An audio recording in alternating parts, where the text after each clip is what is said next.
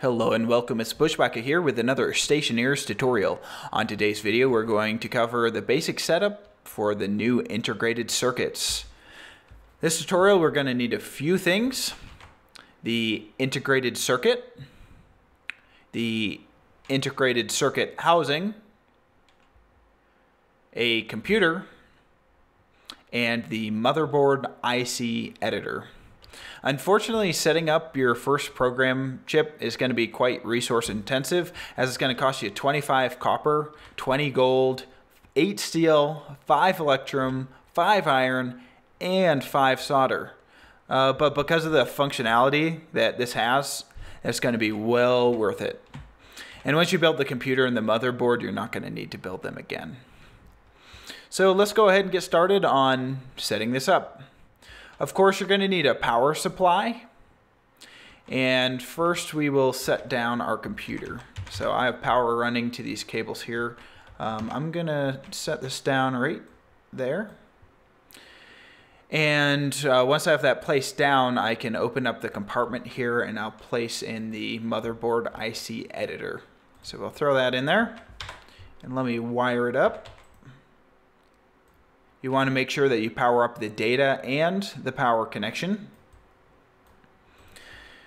Okay, and now we can place down our uh, IC housing here. So take this. And we want to make sure that the power and the data ports are connected up to the same network that our computer is. So we'll place that down. Uh, I'm actually going to flip it here so we can read it a little easier. And finally, we'll take our integrated circuit and we will place this inside. Now, this integrated circuit chip is what's going to hold your program. So once you load a program onto it, it will stay in here, um, even if you take it out and move it to another housing. Uh, now, you can see that this uh, housing here has six screws. They are the devices that are used by the integrated circuit. There are six of them, and they are labeled from D0 to D5. And they're going to give us the ability to read information like such as solar angle or to write information to something like a batch writer. Uh, they can all be inputs, they can all be outputs, or they can be any combination of what's in between. Um, the device they are set to is adjusted by using the screwdriver, just like you would on any other of the logic kits. Uh, it can be turned on and off by using this little button right there. And now that we have all the required components down, uh, we can go to the computer and we can open up the editor. Okay, I've turned on the computer here and you can see that our integrated circuit editor has popped up now. Again, that's because we have that chip inside of the computer. So on the top left here, we have a drop-down menu. This allows you to see which ICs are on the network. So currently we only have one uh, integrated circuit here, so we can select that one. Um, the import button. So if there were to be any uh, data on this chip, so if for some reason uh, it had a program on it and you wanted to see what the program is, you can press the import button. Now obviously I just placed it down so there's nothing in it right now. But if there were, you would be able to see what program is on that chip. And all the way to the right here, we have the export button. That is for when you've written a code, you press that export button and it will write that code to that chip.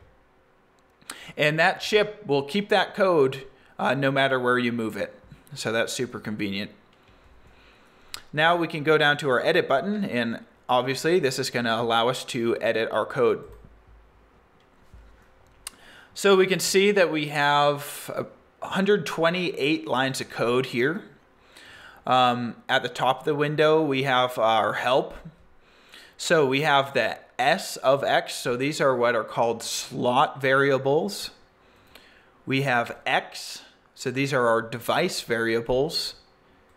And we have F, which is our functions. Now these are going to become very important later. But for now, I just want you guys to know that they're there. The library button here allows you to take any code that you've written and you can create new and that allows you to save it. Also, you're allowed to import any source that you've or any code that you've written before by pressing this import button. Now that this will save it between servers and between saves. So once you've written a code, you don't have to write it again. It'll always be there. And now that we have the setup complete and a basic understanding of the integrated circuits, we can start programming. But we're going to save that for my next episode. If you like this video, please go ahead and leave a like. If you have any questions or comments, please go ahead and leave those below. Again, thanks for watching. Hopefully I'll see you again next time. Bushwackah out.